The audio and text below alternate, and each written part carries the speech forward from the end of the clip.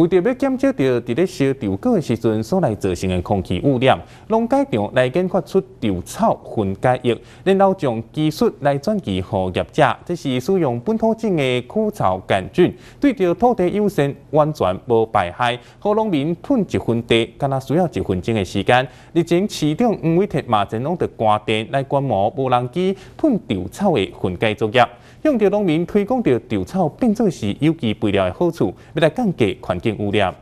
即个农民会伫家己的田烧稻草，这会造成空气污染，佫会当有灾害。因此，农改会朴素来研发稻草分解液，来加速稻草的分解，毋但当提悬种稻仔的产量，卖当循环农业资源，佫再利用，佫配上无人机的科技，卖当新起新工。我们这个稻草分解菌主要是来自于。苗栗改良厂朱博士的一个研发，我们是技转公司，所以我们这个用稻草分解菌下去是要加速稻草的腐化，然后让农民可以省肥，然后省工，然后不要不用再燃烧稻草，因为你燃烧稻草一公顷的稻草，你会排掉九公吨的一个碳，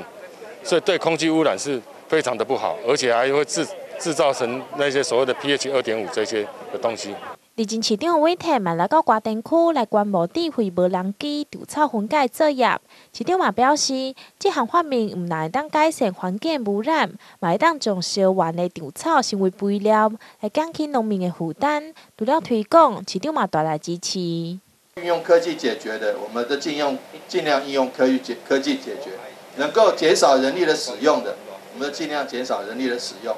能够减少农药这个。分解稻米哈稻稻杆呐，分解稻杆不必不但不必用烧的，刚刚看到每次印尼都有埋害，每次中南半岛那边都有埋害，为什么？因为农民用烧稻用火耕的方式把稻稻谷哈那个稻杆哈把它烧掉，它造成很多环境的问题。哦，每次马来西亚那边在烧，新加坡就就受不了了；每次印尼在烧，新加坡、越南哦就受不了。所以说，大家变成以为祸。所以呢，如果能够进一步推广哦这样子的部分，对环境友善，而且就如果说把这个部分哈这个稻杆分解成为有机肥料，那又减少肥料的用。要减少化学肥料的使用。为着要减轻农民负担，淡市政府是伫在地企业支持，并关进六千八百罐的稻草分解液，用行动支持农民处理废弃的稻草，并增加碳的排放，并减少燃烧来改善空气的污染。记者综合国博一瓜田区彩虹报道。